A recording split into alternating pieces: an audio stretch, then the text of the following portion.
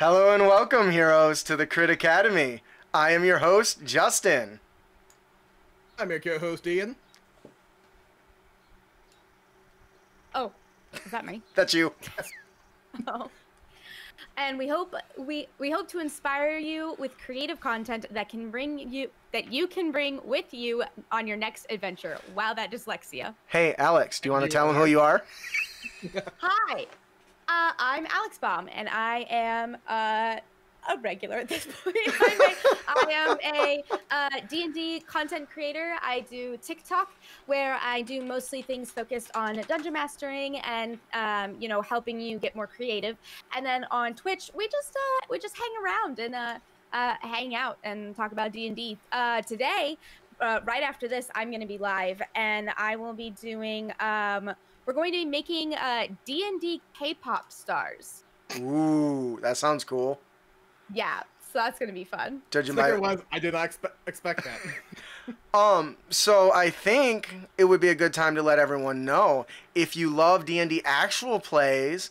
Alex just had a very successful episode one of her baby initiative and intrigue. Do you want to tell everyone about it?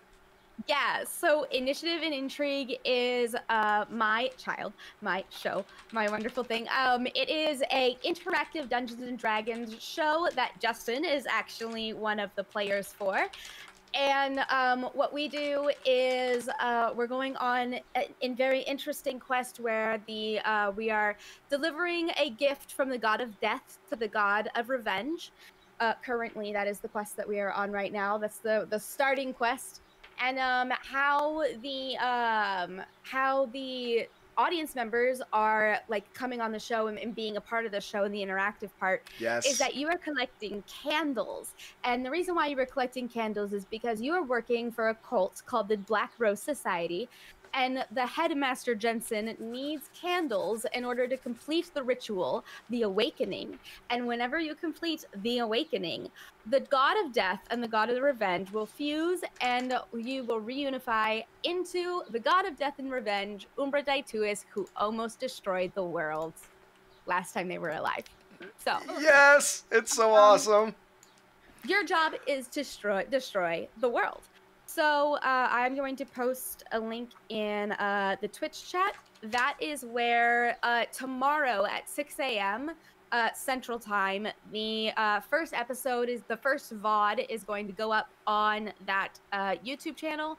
And um, yeah, I really hope you watch it and enjoy and come to the next live show. Yes, it was pretty hardcore. I loved it.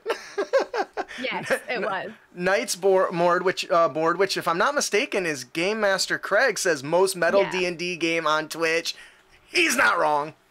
Uh, so, anyways, yes. So, thank you for joining us. Uh, our boy Austin is doing the boyfriendly duties and trying to repair his uh, his girlfriend's vehicle. So, um, he was not able to join us, and Alex has humbly uh, offered to uh, be, fill in whenever we needed it. So guess what I did? I reached out and she was happy to join. So thank you for joining us. Uh, I am really excited for today's episode, you guys. We want to thank you for joining us here at Crit Academy Studios, where everything's made up and your rolls don't matter. This is my part too. That, that's right. Your role's like armor with a poor upgrade. Yeah. Very good. So one of my favorite things about certain MMOs is when I upgrade. Uh, you put all you gather all these really cool resources and you put them together and then you fail. Doesn't that suck? That's how I feel. Yeah. So, fortunately, this uh, awesome supplement we're covering today uh, will make your upgrades not complete utter failures like some of mine. But before we get into all that, we I'd like to take a minute to uh, let everyone know our Capes and Crooks playtest streams are bi-weekly. Uh, one is coming up this Friday on the uh, 28th. Um, so please come and join us. I'm thinking it might be the climactic uh, scene. We'll see how, depending on the player's choices, right? But I'm super excited for that. Uh, I do have a post dropping tomorrow for our Capes and Crooks uh, Dev Speak, where I talk a little bit about my evolving powers and how I try to make my D&D 5e more super. So make, keep an eye out for that. We also like to give away fat loots on every single episode. Today we're giving away uh, feats Don't Fail Me Now. Does your fighter have a heart of fur? Is there more to your Warforged than meets the eye? Ah, I see what he did there. Does your rogue think dual wielding is for chumps?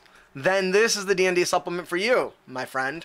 Feats Don't Fail Me Now is a collection of the greatest feats ever created for your not entirely serious D&D game. Over 40 feats for 5e. They're balanced too, they think. Because, you know, breaking the game isn't no fun, wink wink. Anyways, it's a really cool uh, prize, and our winner today is Nonstop Disco 74. Woo! Such a username. Such a big username. I love it. Congratulations if you didn't win. Have no fear. You can head on over to critacademy.com and subscribe for your chance to win. That's all we do. Ask you to subscribe. That's it. And enter giveaway. Every week we're giving away two new things. So, but let's get to the meat and potatoes of the episode. Today we are talking our main topic, the Complete Armorer's Handbook. If you don't know, this supplement provides a complete framework for putting your heroes in charge of their equipment selection and progression, offering competitive narrative opportunities and introducing a much needed structure, a much needed gold sink, like much needed gold sink uh, yes. into the fifth edition without reverting to magic item shops or adversely affecting game balance.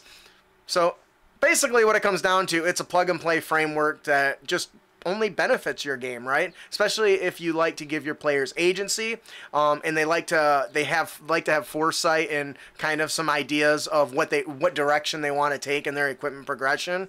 It really makes getting new equipment and progressing it as fun as the leveling up process on its own.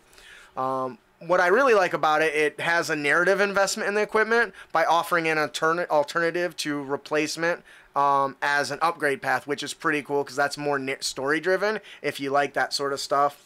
And it's fun and interactive. Money sink, which is hard, usually not something that goes away, at least as far as I've been alive. Anything I sink my money isn't always necessarily uh, fun. Uh, uh, my mortgage wasn't, that yeah. wasn't fun. Um, my bills. rent. Right, just not good. My car insurance. my car loan.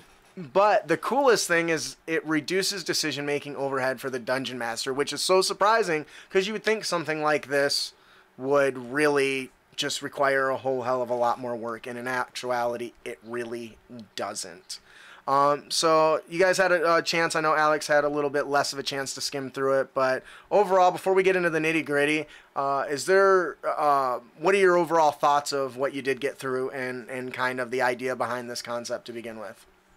To be honest, I'm really, really, really salty that you didn't put in a, a section for the different um, materials. Yeah. So I just want to let everyone know that there's a section in this book where it talks about adamantium, cold iron, uh, dragon hide, mithril, all of these different uh, materials that you can make and yes. actually gives you the cool things that they can do. Like it, like whenever they say that this book takes a lot of guessing out of the DM's work, mm-hmm you don't you think that adding it in it wouldn't but actually it absolutely does because everything is laid out for you mm-hmm. there's not a lot of like oh great what does cold iron do i have no idea what cold iron is it says right there and it says what it does and i just i love that everything is well laid out in this book it's really really good yeah. Um, it is worth noting that the notes we don't necessarily have to abide by those. Those are mostly just a guide. So we will touch okay. on that if you're because you're so emotionally invested. We will touch more on that. Ian, what about you? you know me, I've said numerous times that compared to previous editions, uh, Fifth has been very short when it comes to equipment, especially customized equipment, or the rule to make your own. Mm-hmm. And this doesn't outright solve it, but I do believe it gives you enough to give you a starting point to go off of. Yeah, the one thing that I really thought was interesting is they they right off the get they're they're like, hey, you're going to need more stuff, so we're going to replace the entire armor table found in the, the handbook. Um, they're referenced in brackets when they're used, but for the most part, they gave you um, new names. And I think uh, that has more to do with the way the upgrading system works. Um, and honestly, it just sounds cooler. Uh, like instead of a breastplate, it's a hauberk, which is more, you know, accurate in my opinion. But most of the features and stuff are exactly the same as far as I could tell. I don't know if you guys noticed anything different. I think those Uh, are the more historically accurate names if we're being real here. So And for those that are watching, you can see I do have the PDF open, and I'm, I'm kind of scrolling through it as we we kind of touch on some of the the particular details. Um, if you have any questions in the uh, in the chat that you would like to know about how it works or how it functions, please let us know. Um, if I don't know the answer right offhand, one of us will scroll through and find it. Um, do you guys have the PDF open uh, as we go through this as well? Okay. So, uh, what? So, what are some of the options? Obviously, the most important one is the upgrading. There are a number of options available to a character to upgrade their armor from high cost armor proofing to useful additions like insulation suitable for cold weather environments. That's something that, once again, unless your DM actively takes uh, uh, takes an approach to include the environmental effects, those get easily overlooked. So allowing and, and, and reinforcing that that stuff is important um, comes across in this supplement, I think, pretty well. Um, I don't know if there's um, anything, uh, y- any if you guys have ever run into that issue where everyone's just like, oh, we don't worry about cold weather stuff. We just assume it's cold and we make checks and we move on, right? You guys had that Right. experience? Surprisingly, I have had the experience where like Nice. I've had DMs that completely uh, ignore cold altogether, and uh, I actually really dislike that. So I like the fact that, you know, this this almost gives the DM an excuse, like because sometimes you're like, ooh, do I really want to do that? Like, put that restraint on them because they're already through so many restraints. This gives the excuse of like, ooh, now if I put that restraint on them, they have more incentive to spend more of their gold that they have hoarding, and you know, I really like it. Absolutely. Were you gonna say something? Oh, I just chuckled just because, like, well, if you really, want to be technical, winter gear is already present, and I'll admit, I'm one of those people who who is a fan of not really taking into account all the extra environmental effects, just because, like, yeah, just from the standpoint of there's already a lot going on, and I have been. I think part of it though comes from the fact that I've been played some games where some where the uh, GM tried to make things like uber realistic, and that ended up being one of the most not fun games I ever Eh, played. yeah, So, that does happen sometimes. But as in like they were, as in she has just like draw a diagram of where our gear is in our backpacks. Okay, that's uh, Um, no. My bag of holding is huge. Sorry. I ain't got time for that. It's not, it's neatly organized is all you need to know. Um, so I can understand that that sort of thing. So what I want to talk about first is armor proofing. And basically what that means is you can have armor and equipment worked in such a way that it's more resistant to specific things. Whether that thing is arrows, war hammers, um, uh, mauls, you know, slashing weapons in general. Um, so there's there's different uh, proofings you can do, and I think that that's uh, worth noting because it does require work time, which once again requires some sort of downtime. it's Uh, also very expensive. yes, but man, what you can do mean, makes worth it great. it. Well, and that's I like mean, I think that's why it's such a good money sink because Yeah. no player's ever gonna complain they got to spend money to upgrade. Um, no player's ever going to complain to spend money that if you get six or less non-magical slashing damage, you're just resistant to it, or Yeah. uh, you take none of the damage instead. That's hot. No, I don't. I don't know anyone that would complain. right. I've had players complain that they had nothing to spend their money on, but that's another topic unto itself. I mean, yeah, but Yeah, and that's why I think this is a good supplement. So the one thing I did like about this, um, so let's talk a little bit about the armor upgrades and the proofing. They come in different tiers, and they use what are called tags to reference what they do, because that means the DM can now, if they so choose, make these tags available. Like maybe you come into this uh, little tiny shanty town on the side of a mountain, and all the the gear has climbing harness tag on it, which basically means you automatically in this area would make sense because the people in the area are more likely to use climbing equipment, right? Um, and so I thought little things like that are nice, especially if you have the occasional blade uh, or or item in a booth if you want them a little more readily available in your uh, your your your game. So let's talk about some of these. There's a lot. So what I'm gonna have us do is I'm gonna pick a couple right away. But why don't you guys decide which armor uh, upgrade tag is your favorite, and we'll touch on that. Okay, awesome. Let's hope it's not one that uh, that that I'm about to pick. If it is, just tell me. Um, I like the muffled tag, um, and I think this little tag. It sounds so dumb, but who here hasn't said, "Oh, paladin can't sneak. He's wearing clink, clink, clink, clink armor." I would be the first paladin, the first cleric to jump on the muffled tag, which basically um, requires uh, brigandine armor, and this armor no longer confers disadvantage on dexterity stealth checks. That can make such a difference because I've been in so many groups where the paladins attempted at stealth has just derailed our whole, you know, sneaky, which we shouldn't have been doing with a paladin to begin with, right? Uh, so that was one of the ones that I really like. Alex said she already had one, so do you want to tell us about one I of your weapon armor upgrades you like? I just wanted to say that with the muffled one, if I remember correctly, for the first, because I only watched the first uh, series for uh, Critical Role, Mm-hmm. uh, they made Pike muffled weapon, like specific muffled, and she had to take a she had to take a um, attunement slot, and it was uh, silent. It was quiet armor Mm-hmm. uh, that like that just gave her a normal roll instead of like disadvantage, and I just I like the fact that somebody saw that that was an issue and created such an interesting and creative way to fix that issue. Yeah. Um, my favorite is the locking joints. Um, Ooh. first of all, this is only 100. This is only 150 gold, and you need half plate or plate armor. So it's not it's not terrible because if you have half plate or plate armor, you already probably have a pretty penny on you. This armor is made with hinged joints that can be locked by a quick motion from the wearer. While wearing it, uh, you you make strength slash athletic checks to oppose attempts to shove you with advantage.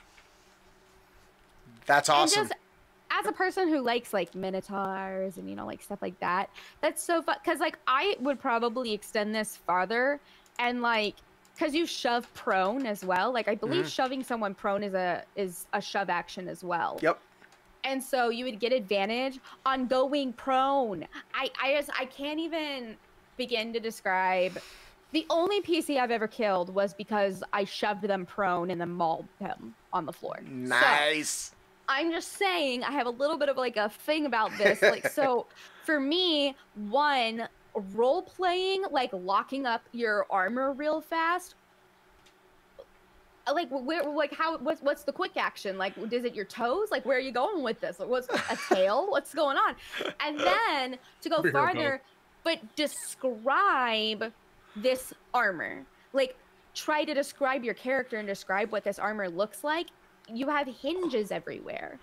I just i just i go insane thinking of how like i think of like a dork like a really really dorky paladin who's like all about his god and he's super dorky.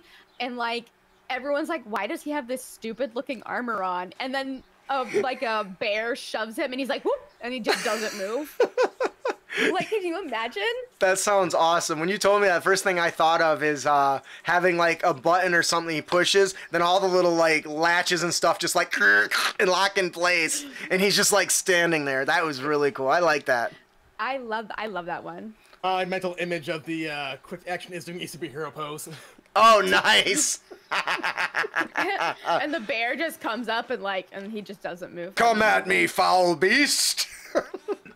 Awesome. Good choice. What about you, uh, Ian? This will be a weird one for me, but the burnished upgrade. It only Mhm. costs 10 gold. It only works for heavy armor, and on a side note, it only lasts for up to 24 hours or till the end of combat. But basically, the armor that you're wearing is polished to a fine mirror finish. and while you're wearing it, you have advantage on charisma-based skill checks while interacting with certain humanoids.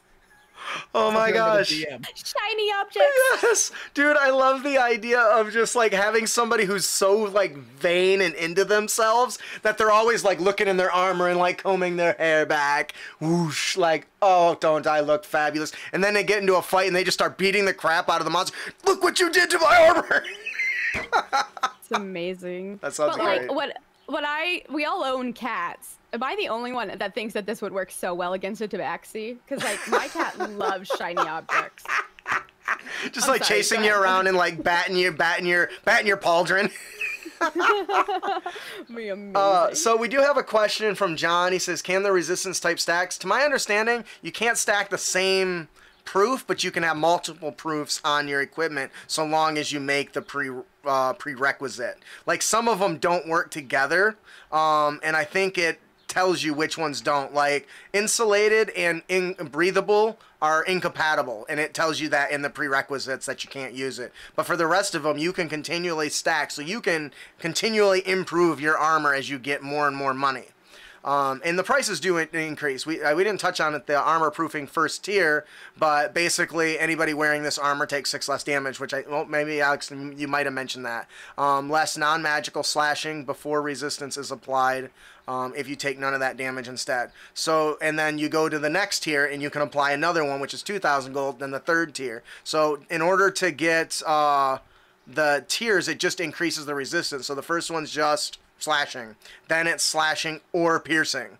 Um, and then it's uh, all slashing, piercing, and bludgeoning damage. So, um, and those go on top of the resistance, which I think is great. So, uh, hopefully, I think of those questions. as like the patches that um Girl Scouts get. You know, like the little, little patches that yeah. Girl Scouts get. That's what I think of. That's I like that. That's really good. Um, so obviously this is more than just armor, so we're gonna go ahead and talk about uh, the weapons. There are several um, uh, revisions for weapons. Um, the, basically, they have new properties for certain weapons. For instance, daggers and darts get the bandolier property. So when making a ranged attack with a weapon and it has the bandolier property, uh, you can immediately draw another one of the same type as part of the attack, which basically solves the issue of throwing and, and running out of ammo, basically, which I thought was a nice touch. What's that? Quality in the first place. Yes. Yeah, that's smart.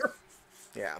Um, and so they, they do revise the list of weapons again, giving them just the, the additional uh, new features included. Uh, concealed is a really good one, which means you ha- have advantage on dexterity, sleight of hand checks, to keep this weapon hidden, which makes sense. It's smaller, it should be easier to hide. So little little nuances like that, I think, are done really really well in uh, uh, Armorer's Handbook.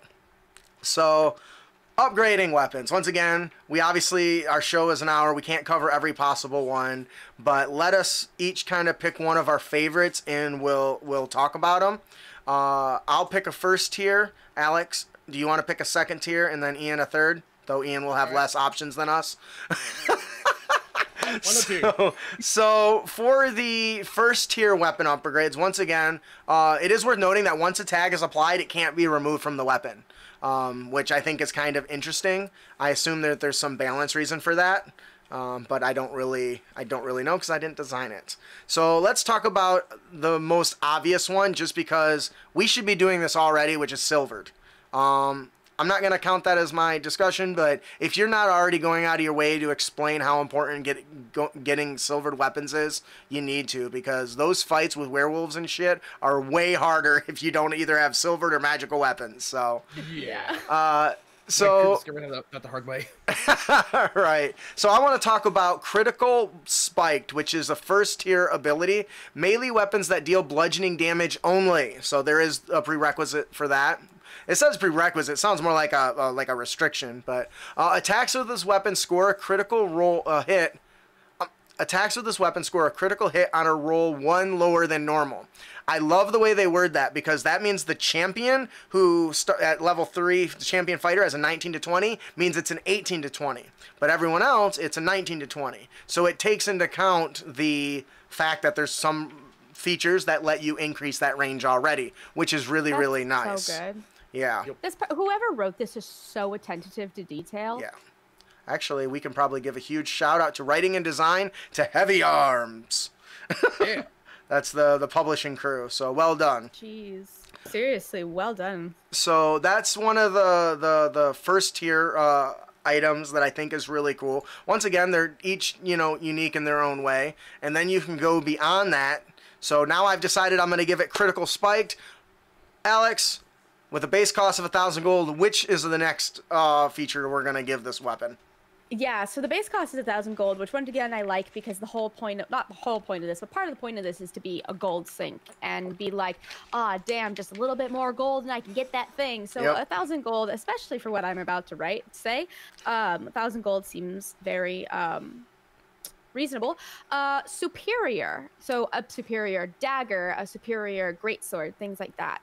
Um, you get the balanced feat, the keen feat, or the oil. You get balanced, keen, or oiled um, tag from above, Mhm. and you can only apply it uh, to weapons with one damage die. So like a flame tongue dagger that gets more uh, damage die. You won't move. You won't be able to apply it to all of that. Only one damage die.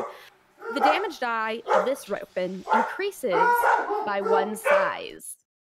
So, for example, a D6 becomes a D8, a D8 becomes a D10, a D10 becomes a D12. And D12 is the max that it will go. It won't That's go to hot. D20, unfortunately. How do you describe? I mean, how on earth would you describe a dagger that does a D6 worth of damage? Like the the the amazing imagery that could come from this. So I have an answer for this.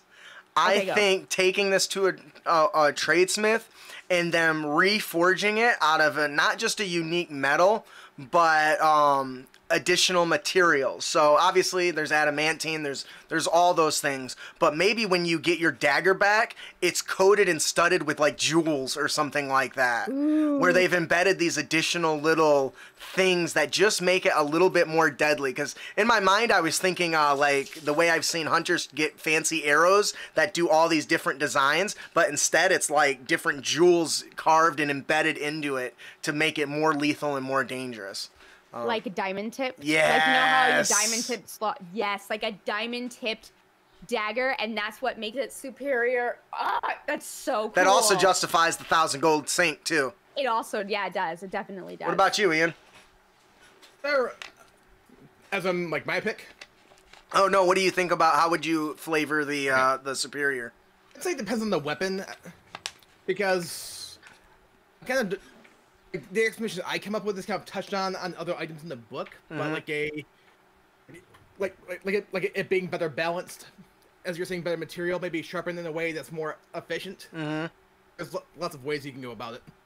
Yeah, I agree. Oh, that is a really good idea. Like, like I could, I could imagine a scenario where you bring it to a blacksmith, and the blacksmith like holds up the long, the the short sword, and is like, "This is not balanced to you at all. This is not weighted to you at all, crap. is it?" Yeah. Yeah. like what? i- What is this? And he's like, what? And he's like, hold it. And then like the, the the blacksmith's like, hold this. And he like holds it. He's like, oh my god, you're not holding it right. And like the blacksmith then weights the the short sword specifically to that character, like tunes it. That's cool, Ian. That's cool. Yeah. I uh, actually had a forge domain Cleric, who was a dwarf that would, as one of his quirks, would criticize his enemy's weapons.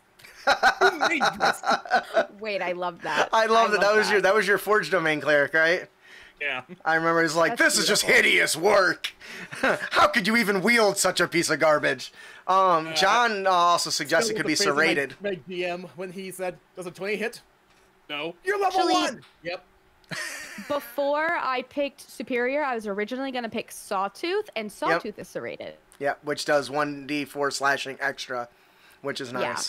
Nice. But it doesn't affect against constructs and undead, which to me is suggesting that it's bleeding whatever it hits, which is cool. Oh yeah, because I don't know if you guys have ever been cut with like a steak knife, but like you can't you can't stitch that thing up. Can't undo that. Weird. It's Huh. not Uh, fun. All right, Ian, you got the third tier with a base cost of 10,000 gold. Oh my god. It's worth noting there's only two on this list. here, and I'm going to go with Arcane.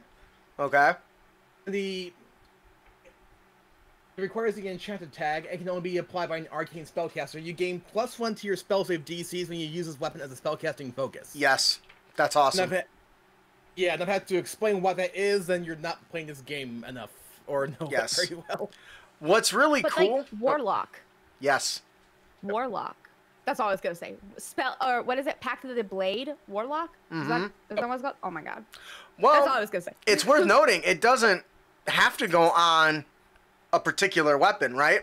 It doesn't have a restriction, so it can be a staff, it could be a uh, a dagger. What's cool is you Oh. can do it more than once. I bet if you could come up with the funds.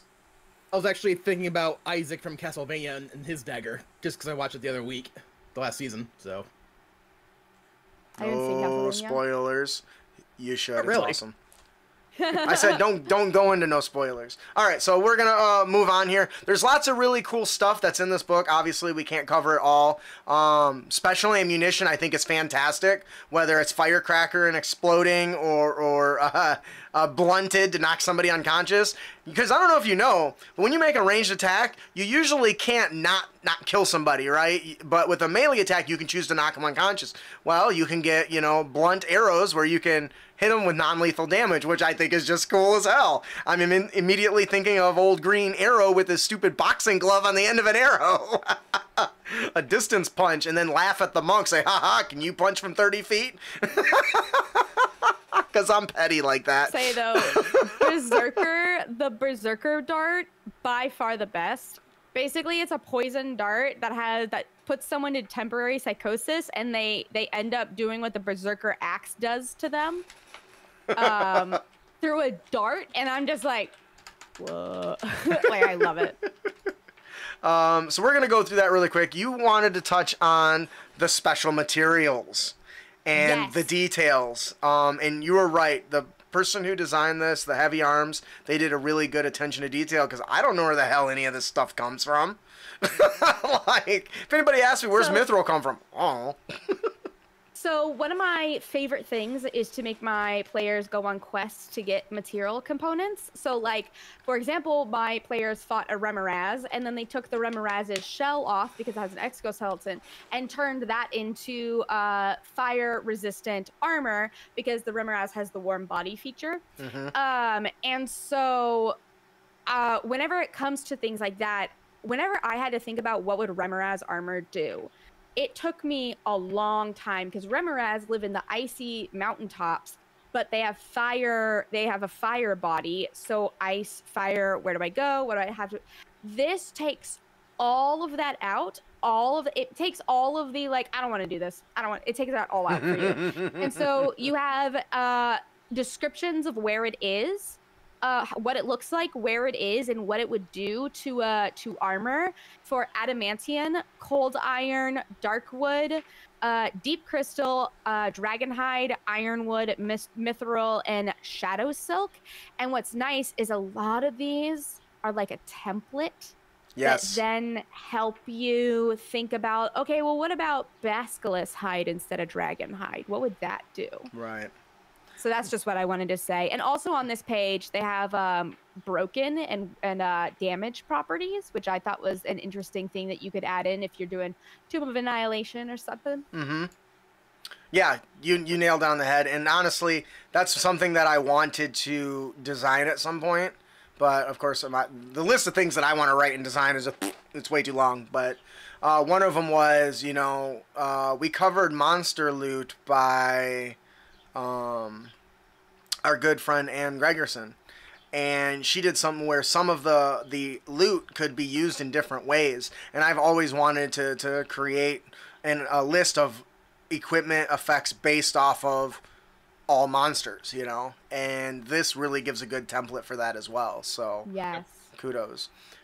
Uh, Ian, did you have any comments on that, or can we are we ready to move on to rune smithing and stones? All right, so uh, really quick, we're gonna burn through rune smithing and rune stones because we're running out of time here. Um, this did it is worth noting this came out before the Rune Knight. Um, so whatever things are similar or go against the way that's designed, that's up to you. Um, Actually, it came out before Tasha's. yeah, right. There was playtest for the the Rune Knight before then, I think.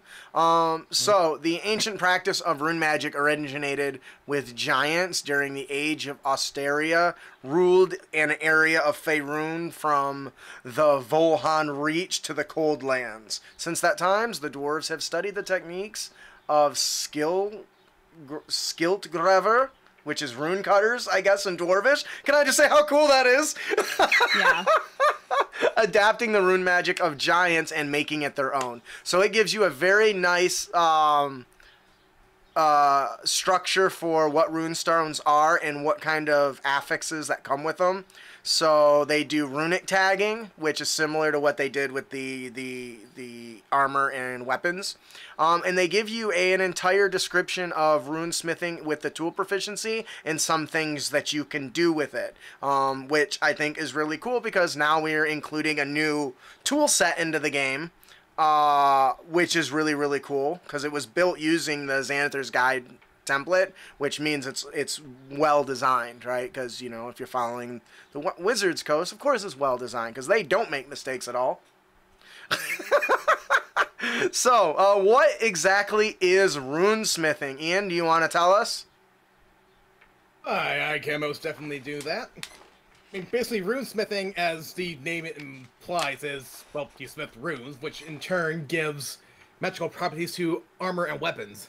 And each, in effect, changes depending what kind of rune you put on them. Yep. That's kind of what it boils down to. Yeah, yeah, that's pretty straightforward. Um, I don't know if you guys noticed, but there's different like levels of progression. I haven't seen that with like other classes because they got the Runesmith Guild, and it gives you rules on like joining them and then how you can progress. And the, there's even a test item that you have to craft successfully to move to the next level. Like that is so cool. Why didn't it. Why didn't Wizards so of the much. Coast do this with their tool sets and guilds, man? Like, come on. That is the coolest thing. I'm I'm nerding out because I there's Oh there's no, combat absolutely should. there's combat everything, but what about the other stuff? This is the other stuff. Uh, I gotta find out if Heavy Arms now has like a whole different set of books for the different uh, different sk- different skills. Um, so there's a lot to this. Obviously, we can't cover all. So why don't we each pick uh, maybe one of our favorite rune stones or one that sounds really cool, and we'll talk about those before we move on to the the last half of the show. How's that sound? absolutely. Um, so, uh, one I want to pick is a rune stone called Bastion. Uh, the item is a gauntleted suit of armor or a shield. So those are the that's the item that it can be attached to. So it says while you are wearing the armor or wielding the shield, this item can use a bonus action to press your fist to the ground and speak the command word, causing a 10 foot radius immobile dome of force to spring into existence around and above you that remains stationary and lasts for one minute. The dome automatically repels non magical ranged attacks attempting to pass through it, and the area inside the dome is considered difficult terrain for hostile creatures. Once used, this property cannot be used again until the following dawn. Oh, instant, like, energy barrier, anybody? Hell yeah! So fun. What do you guys think about that? I love it. That's 10 out of 10. That's So useful. Yeah, that's uh that's hardcore. like I'm instantly just thinking um using it you can use it to slow down enemies. You can use it to um funnel uh funnel your um your enemy by locking them I imagine locking them away from uh your allies. I I guess I don't know if it's it can be penetrated. Uh, it says it repels non-magical attacks att- uh, or attempting to pass through it.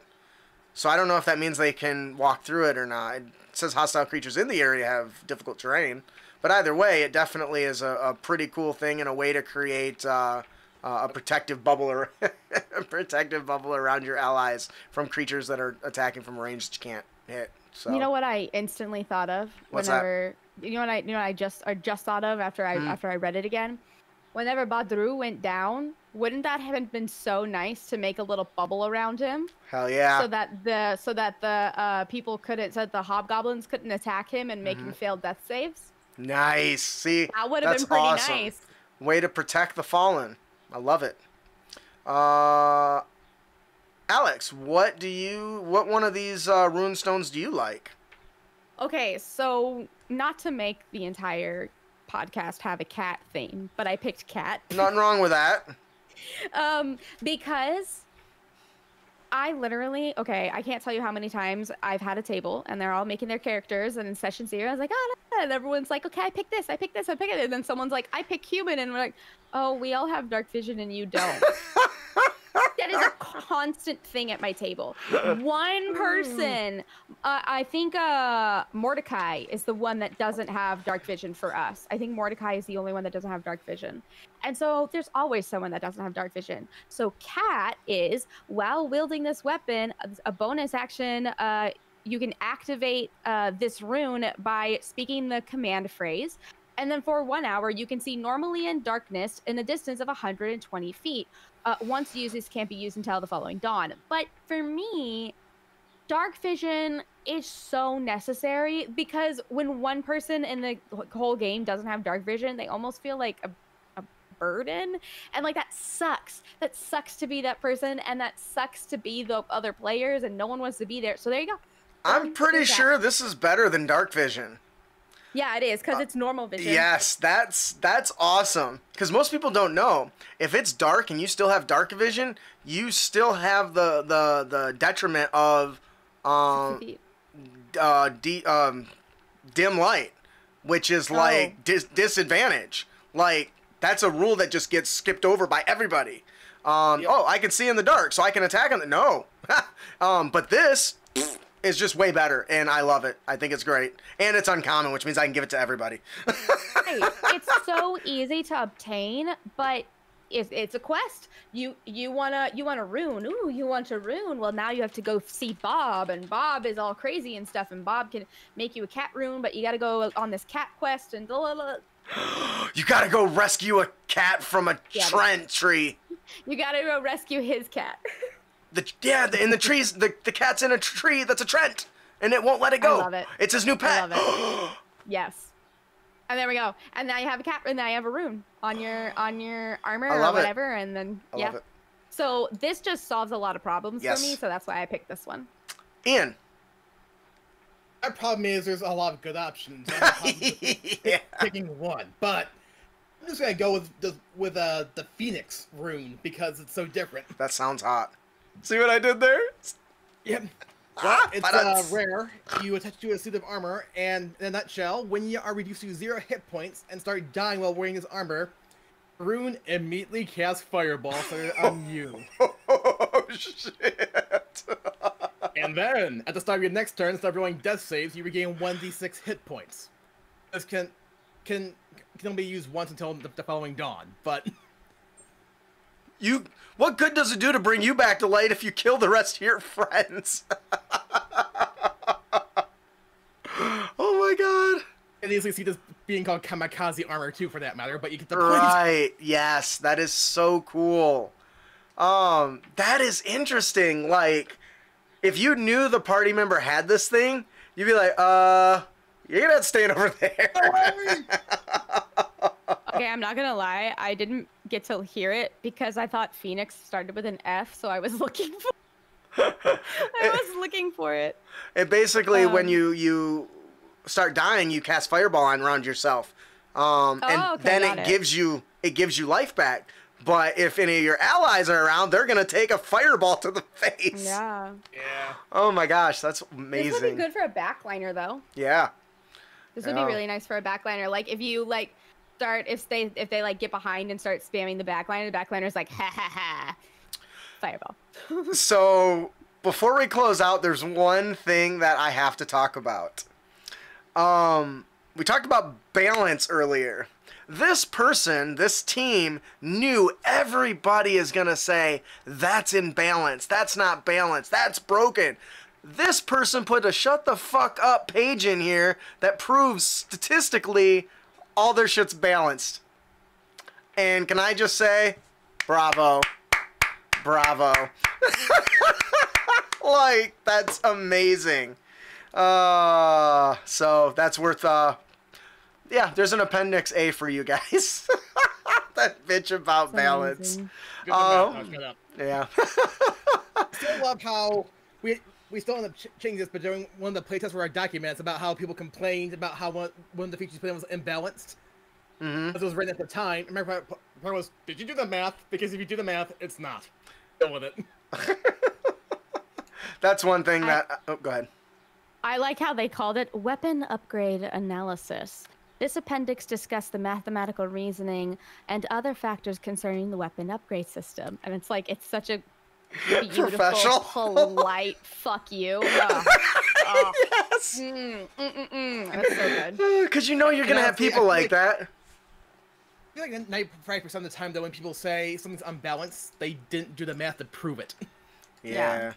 I've never, I've never taken the time to put the math in. Like, Uh, Like, oh, example, like shit. back during the fifth edition playtest, the fighters by default, all of them have maneuver die, which you got back at the beginning of your turn. And a lot of people complain, that is so unbalanced. I'm like, you're calling this unbalanced when wizards have instant kill spells? right. um, so I think that'll do it for our main topic today the complete armorer's handbook. Um, what a cool supplement. Uh, if this sounds like something you want to check out, please uh, head on over to critacademy.com and f- check it on our show notes. We do have an affiliate link there. So not only do we know that we sent you there, but also uh, we do get a small uh, kickback from it. So you help us, you help them, and you help yourselves. We all win.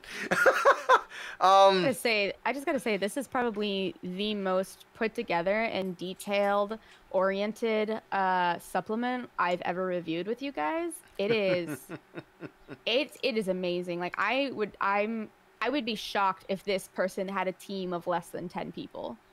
Yeah. Yes.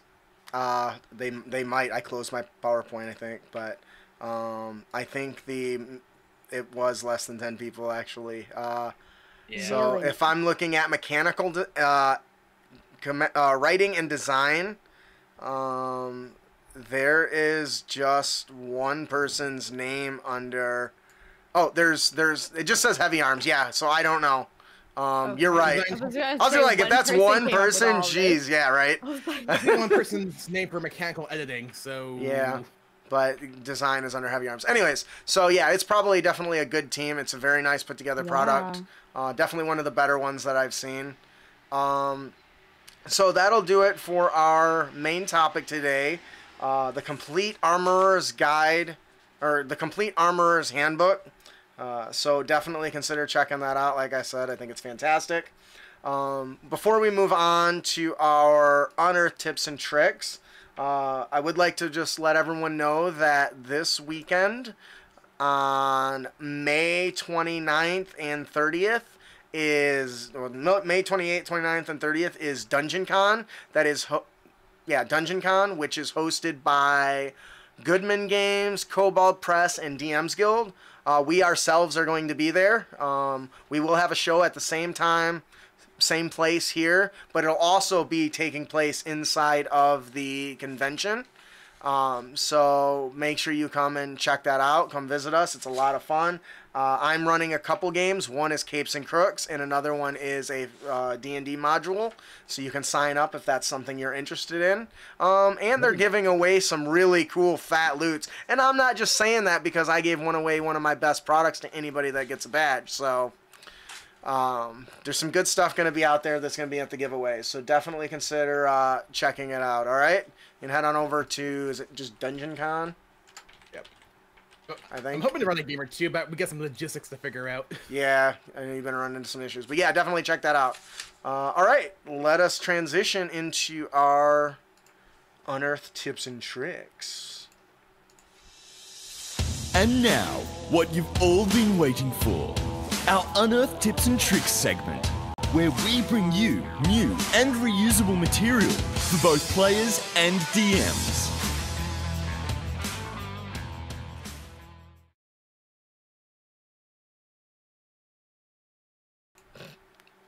Yeah. Don't forget the slides. Ah, uh, yeah, I do forget that sometimes. Oh, that's the wrong one. There's the website. well, those new features. So. So let me put that over there. And all right, our unearthed tips and tricks segment. Alex, would you like to tell us about our uh, character concept? Now, it is worth noting that we took a different approach with this compared to what we normally do. So please like let me know what you think. Um, it's a different format, different everything. So we're going to do this a couple times so I can get some feedback or we'll go back to the old way. Hit it. Um, Avelina Aderon? Is that how you say your name? I have no idea. That's a randomly generated name. really, it's beautiful. I know. It's so beautiful. A moderately attractive woman, she wears an old set of leather armor, nicked and torn by the ravages of time and battle. Her silver hair is lengthy and is close to two feet long. Her her otherwise smooth face is marked with small, tiny scars. Um, love her. Uh, also, love the idea of her being silver. Uh, the one thing that I would ask is like, what uh, what race is she? because I think elf Shit. immediately. I don't know if there's one on there. Anyone you want. Yes. elf. Um, personality. She runs her personal life as if detached from it. She organizes uh, appointments and outings based on perceived benefits she will get from it. She is ruthless. She is a ruthless businesswoman, a trait she acquired from her mother. So neutral, true neutral. That's what I'm hearing. Sounds good. Um, she was born to loving parents in a slum to the east. When money was particularly tight, she was walking through alleys when she overheard a shepherd hiring some criminals to sabotage a competitor. She made her way to the other competitor and para- uh, Parlayed. parlayed, thank you, parlayed her knowledge into a job. She has been a successful dealer of antiques, buying low and selling high.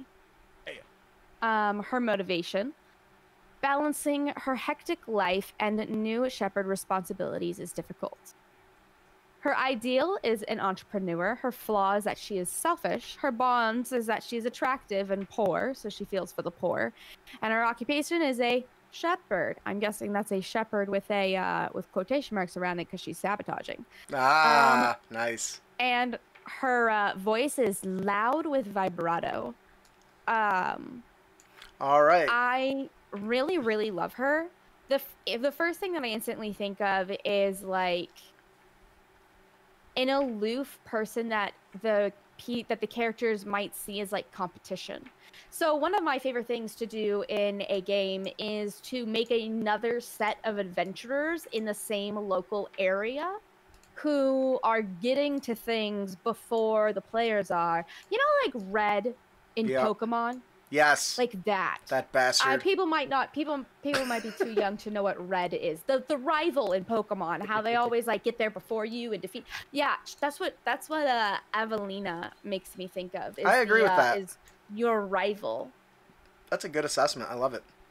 But then I would really like the idea of at the very very end, she either joins the bad, the big bad, and you have to kill her too, or she gets scared and you have to save her. One or the other. Your pick. I love it. Um, I think you hit the nail on the head there. I think this is a really just interesting character concept overall.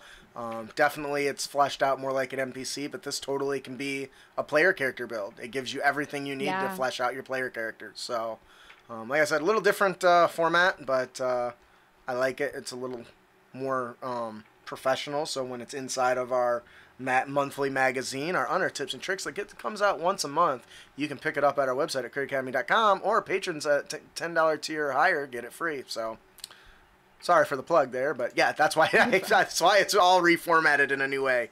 Uh, do you have anything I to actually personally really like it. I like it formatted like this, Mhm. especially because it is for me, whenever I learn about the history, whenever I learn about the shepherd occupation, it just forms a more full picture with more Mhm. vivid colors. right? I like and that. I, I really enjoy that. Very cool. Ian, do you have anything to add?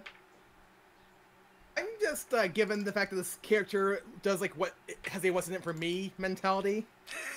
I'm just picturing you, you get into a fight and the and they're on the other side. Help us. Why? Pay you with what? Money. Done. Oh, I love it. All right, that'll do it for our character concept, Avelina Aturton. Aturtion? Aturton? Ah, doesn't matter. Uh, our monster variant of the day is our Briar Thorn Goblin. So, in order to build this bad boy, you're going to start with the stat block of the Couatl, uh, which is an awesome creature, by the way. If you don't use it in your games, you need to.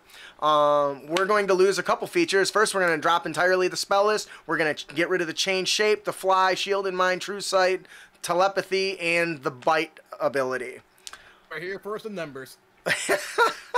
So what are we gonna give it? So I said we got rid of the spell list. We're giving it a new spell list to fit the Briarthorn Goblin feel, uh, which is uh, uh, a goblin that's actually uh, plant based, where the plant actually uh, the Feywild opened up around a sacrificial area of goblins and brought the Briar Briar Thorn together to life, and it kind of just built and formed around the goblin bones. Uh, which I just think is really cool. So the new spells will be At Will, Dancing Lights, Druidcraft, and Pass Without a Trace. These little bastards, hard to find. They don't want you to. Uh, three times a day they can do Entangle and Fog Cloud, and once a day they can Counter Spell. Ha ha! Now these are going to be some annoying little ass goblins. Uh, Dispel God. Magic, Spike Growth, and Wall of Thorns, man. These things are nothing but terrible problems. To top that off, we're going to give it Nimble Escape, which basically lets it disengage or hide as a bonus action. They also have Pass Without a Trace, so you're going to be harassed by these things, and most of the time, you're not even going to know it. Then we're going to give it the Claw feature, which I think is really fun. Not only does it give a plus 8 to hit, but it does 1d6 plus 5 piercing damage, and the target must succeed a DC 14 con save or be poisoned for 25 hours. Now, that doesn't sound really bad, except until the poison ends, the target is unconscious. Shit, that sucks. Another creature can use an action to shake the target awake these little bastards are gonna run around terrorizing players uh, and stealing from them and knocking them out and dragging them off to be devoured or or become plant food which i just think is great I what do you guys think adore them. And just for clarification, I assume you're not talking about the poison condition at any point either. So no um uh yeah well no the, the uh they are poisoned they become poisoned so it's the poison condition and while they're poisoned they're also unconscious so Yeah. but yes it is poisoned because it says saving throw or be poisoned yeah that's right okay yep for 24 hours and that's a long time That is a long time. imagine what you uh, uh, an enemy can do with the players if they've got 24 hours to plan Oh, I'm just thinking about like the hobgoblins that you guys just Yeah. fought. If I had done Briarwood goblins and put him down in the rice paddy, he would have been Oh, underwater. no. That would have been terrible for us yeah, well how deep was the briar was it at our waist because these are small creatures Oh, okay. So yeah, the Briarwoods wouldn't be able to like um the Briarwoods would be able to get into the well the water I think the water was like ankle high at the time. Oh, something then like yeah, that, they'd and been fine. why. Yeah, they've been fine. They're not tiny; they're just small. But uh, yeah, uh, this is this is definitely. Uh, oh, I forgot. It's got another power.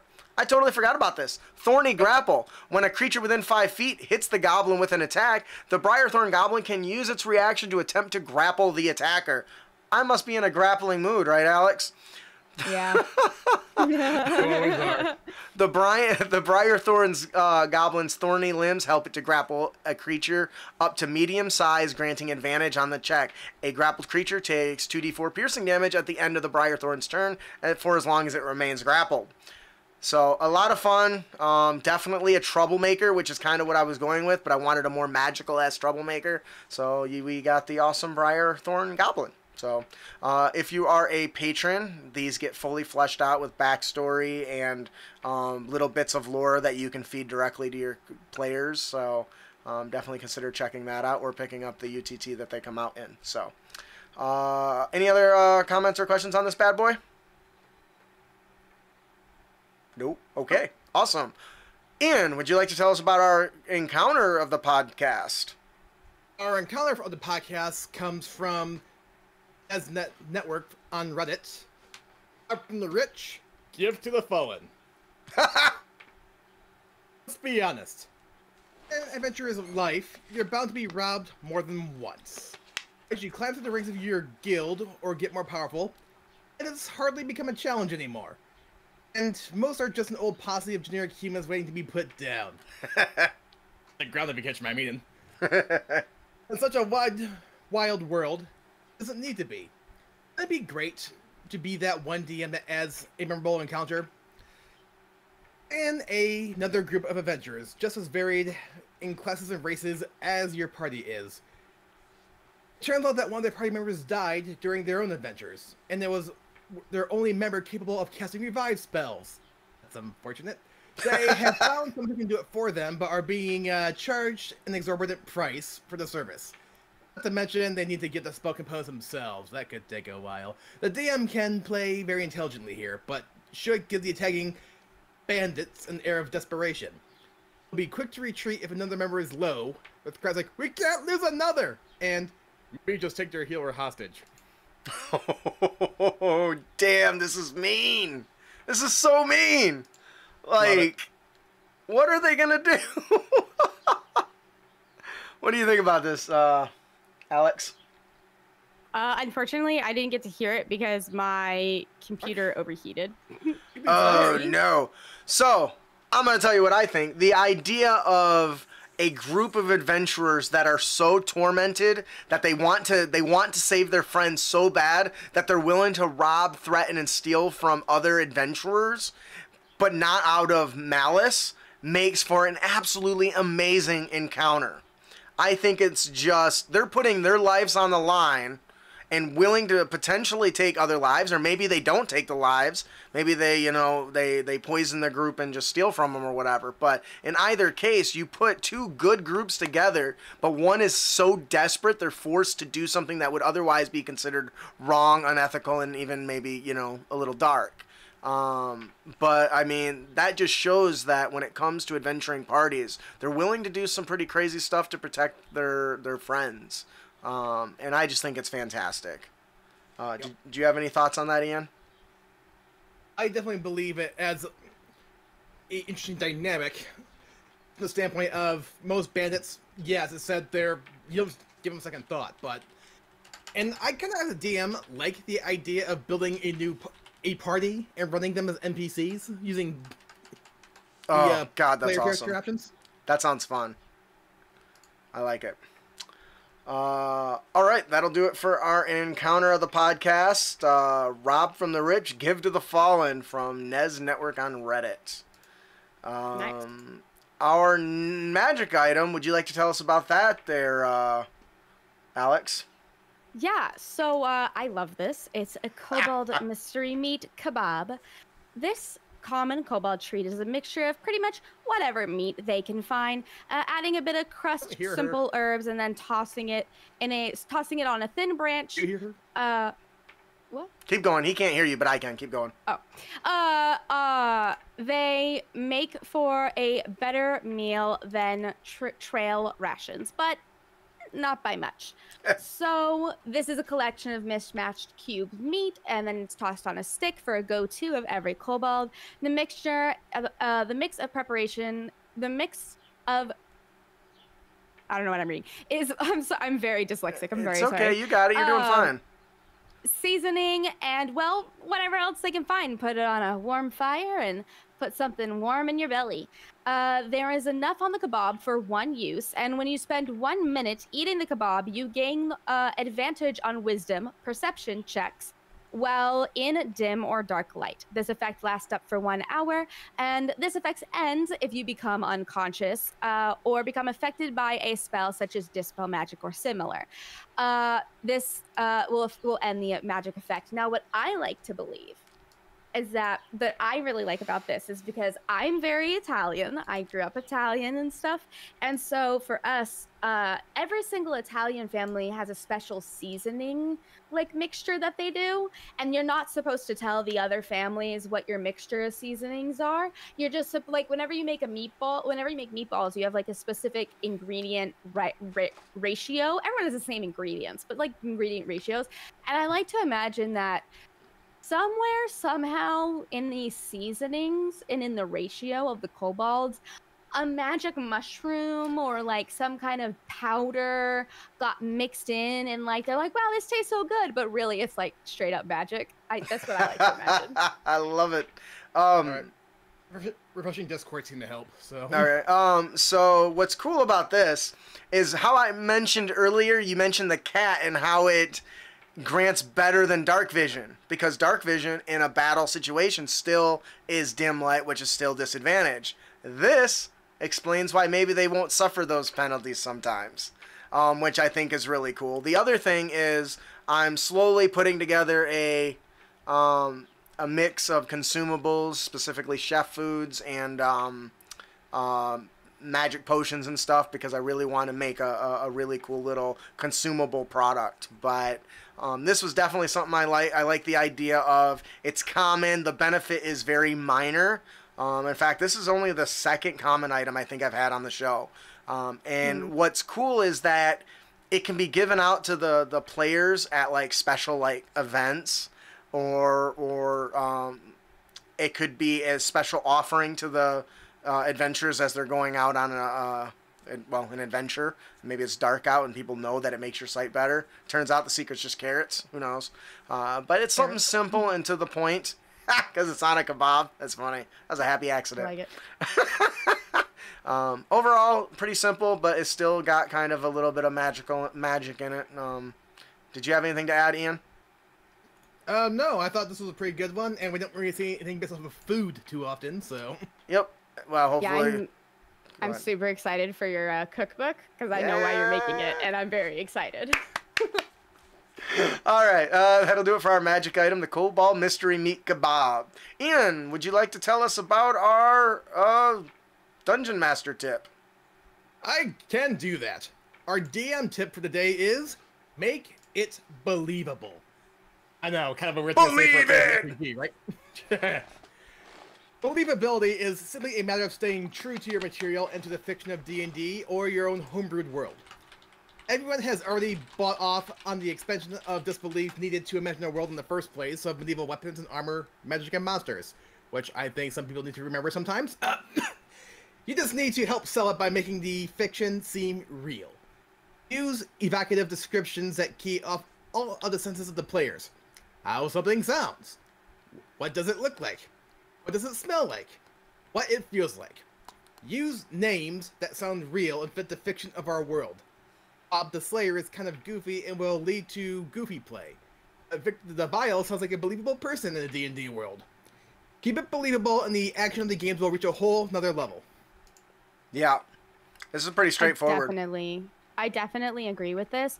And like one of the things that I also notice is that like you do need moments. Okay, so one of the things that I just like would love to bounce off of like this is with the names is that you need moments in a game where people can goof off. You need te- tension and release, but you need the release, right? And so I have a I have an NPC. Her name is Flower, and she is a bugbear who was found abandoned uh, by some humans and raised her to be human. And she's not very good at it, but she tries her best. Um, and she is very funny to awkward. She's very awkward and she's very funny and she tries very hard to not be scary. So she wears like sundresses and big bows on her head because her father told her who could hate a pretty girl with a bow on her head, who could be scared of a pretty girl with a bow on her head. Yeah. When Flower comes out, it signals to the other players that it's time to relax. I like that. So that's another really good, like not only like making things believable, not only making things believable and you know using descriptors whenever appropriate in a serious sense, but also in a hey, if you want to goof off right now, it's cool. Now's the time. I love that. That is fantastic. And my comment with Bob the Slayer, at the very least, is for all we know, Bob was a farmer, but then he fell into the adventuring life. happy, reason or another. happy accident. and it's not like, well, well, let's be real here. It's not like uh, parents expect their children to necessarily be adventurers per se, so they just give them generic names. And also on the same note, you can turn Bob into Robert. So That's true.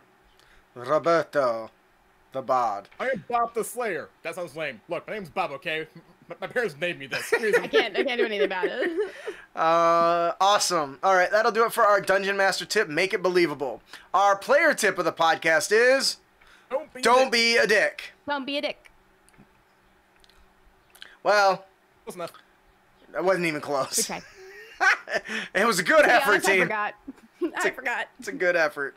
Uh, and our tip today is infinite copies of yourself. Holy crap, simulacrum plus wish spell. Level 17 wizard is required. You cast simulacrum on yourself.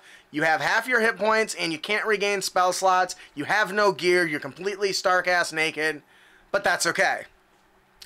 Basically, what that means is you now have a duplicate of yourself and it lasts until you cast the spell again. right? Which then it just undoes it. But we're going to take a route around that. Instead, you're going to then take a long rest after you cast the spell. And then you're going to have the clone cast Wish on you to cast a new 7th level Simulacrum on you. Now that you have all of your spell slots, this new clone of you can now cast Simulacrum itself. Then you rinse and repeat and watch your dungeon master cry or all of the simulacrums start fighting each other. Make sure you do this in a mountainous area because you're going to need a lot of snow, okay? Yeah. Or mud or dirt or something like that. Um, it is worth noting that to cast it the first time, you do need a 15,000 gold or 15,000 gold worth of like powdered rubies or diamonds or some shit. But outside of that, functions as intended. I couldn't, I looked at this numerous times, I couldn't find anything wrong with it. Um, what do you guys think about that? Go, my, my, army of me's. Go, my army of me's. I love it. Um, so something that I don't know. Now I'm wondering because you said you looked and like couldn't see anything wrong with it. Doesn't mean I didn't there, miss anything. I thought that whenever you cast Wish, there's a 30% chance that you will never be able to cast Wish again. Uh, let's double check that. I think that there is truth to that. But it's small. I think it's smaller chance than that, though, isn't it? So when you look at it, it says. Um, I Can't remember.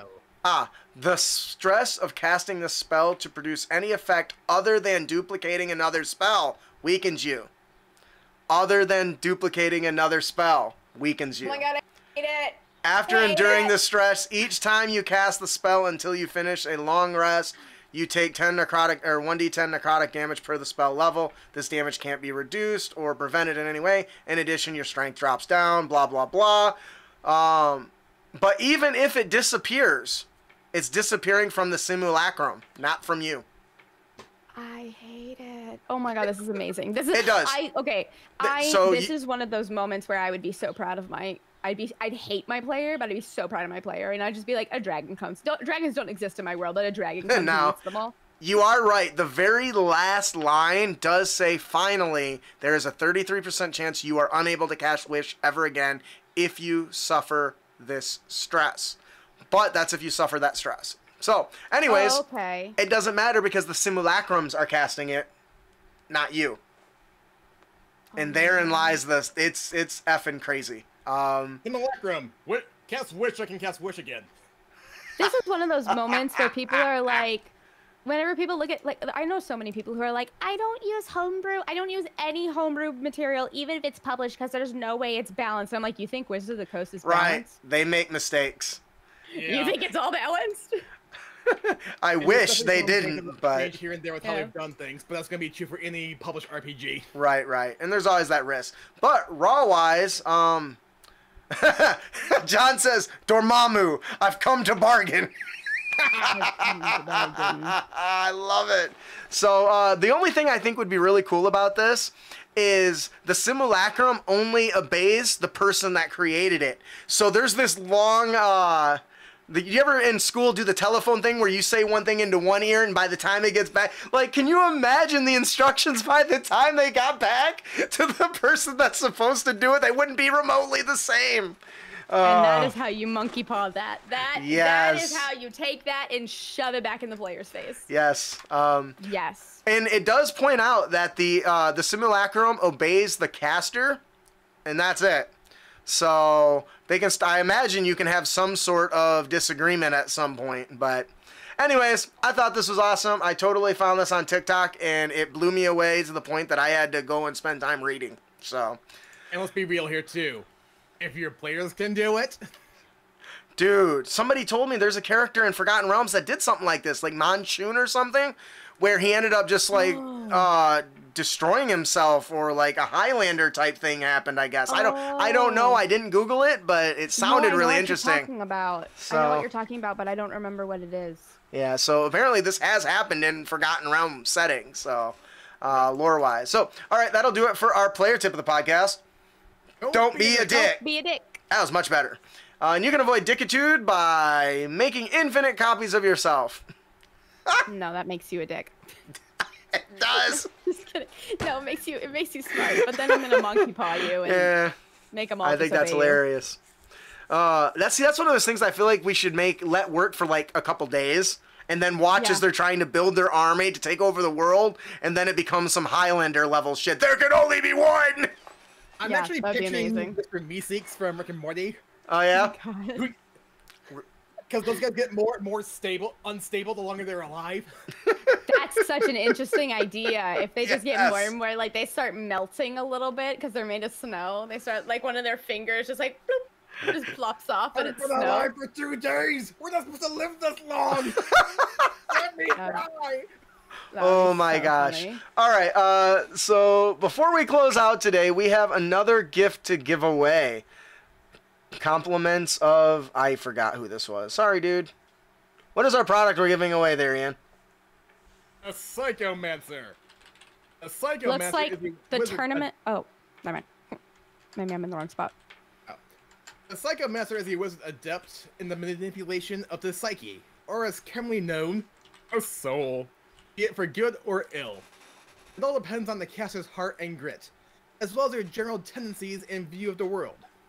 Not many practitioners have lived to tell the tale, but those who have speak of a hard and gruesome path, which eventually may, may even lead to godhood. Yes, it is from DM Enclave Conclave. So, uh, yeah. So who's our winner today? Our winner today is Carby's Master. Yes, congratulations. Woo! Alright, didn't win? Not a problem. Head on over to critacademy.com and subscribe for your chance to win. Yes, do that. Do it. No. Yes, yes, yes, yes, yes, yes. Um, before we close And- out, go ahead. Actually, before we close out, I do want to uh, pour it out for Kentaro Who? Miruha. I can't pronounce his last name to save my life. Oh, He yeah. was the author for Berserk, and he passed away. That's yeah. That And if any of you read, read, read Berserk, most people don't even realize how influential this work has been on dark fantasy in general. Yep. Well, even on regular like Final Fantasy VII, you think uh, Cloud would have a Buster Sword if Guts didn't have it first? No. In fact, like during Castlevania Season 4, one vampire had day armor, if you will. And the showrunner said, yep, we straight up ripped off uh, Guts' Berserker armor. And they showed pictures next to each other, like, yeah, same design, same poses. You got to get your inspiration from somewhere, as long as you Oh, yeah. do not copy. Right? I'm just curious if the series will be finished at this point because it was incomplete, but we'll Eh. see. Anyways, um, Yeah. before we close out, uh, do you want to give yourself one more plug, Alex, in the show? My name is Alex Bomb, spelled A E L X B O M B, because I'm dyslexic. Um, and I do Twitch, uh, where we noodle out and around with Dungeons and Dragons, and then I do TikTok, where I talk about um, things, DMs and DMing and sort. And uh, I also run a show that Justin is on um, called Initiative and Intrigues. Yeah. Yes. You should come join us. Enjoy some stew. Brick make you stew. It tastes really good. He just got some good new meat in too. Apparently, we're making Brick uh, custom recipes, so that's gonna be fun. Oh, that's that's awesome. Uh, all right, so uh, please join us on our next episode. We will be hosting our show through the amazing Dungeon Con online event hosted by Goodman Games, Kobold Press, and DM's Guild, as mentioned earlier. We will be discussing Planes Walking with the MTG, or Magic the Gathering, Planes of Existence for your heroes to venture into. Most people don't know this, but Wizards of the Coast has released its several short, you know, 15-page documents that, in uh, I think they're even more than that actually, that give you details about those worlds and how to change some of the current character types to fit that theme. And I'm super excited to talk about that. Um, if you're interested in checking out and visiting us at Dungeon Con, you can head on over to rebrand.ly slash DungeonCon um, and sign up. Come check us out. It's going to be a lot of fun, I promise. Um, maybe even come and join me for a game of Capes and Crooks or D&D. Yeah. Uh, if you enjoy the show and you'd like to support us, please give us a visit at critacademy.com. Follow us on social media and leave us a review.